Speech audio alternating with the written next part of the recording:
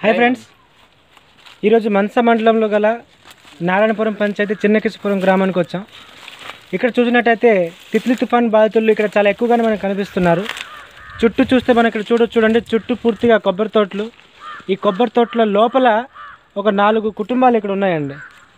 ఆ టైంకి రాత్రి పదకొండు నుంచి ఉదయం ఎనిమిది గంటల లోపల జరిగే తుఫాన్ టైంలో ఇక్కడ వీళ్ళు చూస్తే మొత్తం మట్టిల్లు రేకిళ్ళు మొత్తం ఇల్లు ఇక్కడ నుంచి వాళ్ళు ఊరు లోపలికి వెళ్ళాలంటే కనీసం ఒక అర అర కిలోమీటర్ వాళ్ళు వెళ్ళాలి.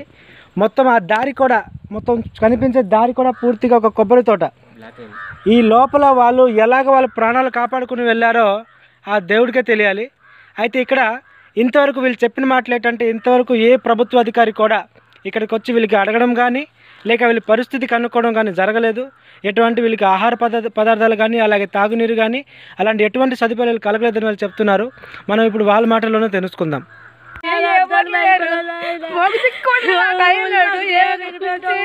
నాలుగు గంటల వరకు వరకు ఉన్నాము ఏం నాలుగు పిల్లలు తీసుకొని ఇల్లు డాగా ఇంటికాడికి వెళ్ళాము. అక్కడికి వెళ్ళి కూడా చెట్లు వచ్చి పడిపోయినవి. ఏం చేస్తామో పిల్లలు తిల్లి లేవు బట్టలు లేవు ఏటి లేవు. మా దిక్కు దేవుడికే తెలుసు ఎవరికి తెలియదు. ఎవరు వచ్చా చూసే పరిస్థితి కూడా మాకు లేదు ఆయన ఏం చేయడమో తెలియదు. ఇంతవరకు భోజనాలు లేవు పిల్లలకు పాలు లేవు ఏమి లేవు.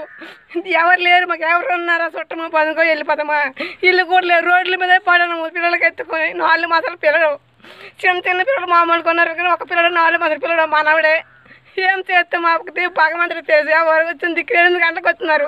ఊర్లో ఉన్నారు సహకరించడానికి ఆ టైం వస్తే ఏం పట్టలే. కేవలం పిల్లలు తీసుకుని వెళ్ళాము. వేడి నీళ్ళు చేసి పెట్టినాము ఇంకోటి పొయ్యి మీద ముందు నుంచి ఇలా తుఫాన్ జరుగుతుందని ఎటువంటి అధికారులు చెప్పడం వెళ్ళిపోయింది చెప్పు అంతే.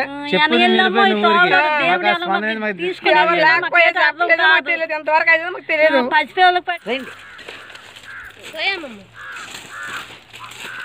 లైవ్లోకి చూపించండి.